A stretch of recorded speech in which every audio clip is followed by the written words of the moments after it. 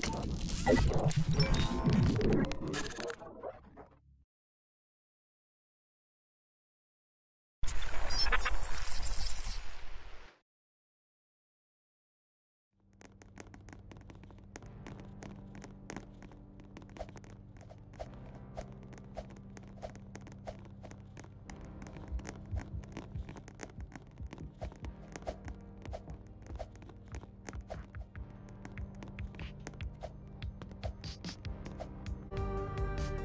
multiple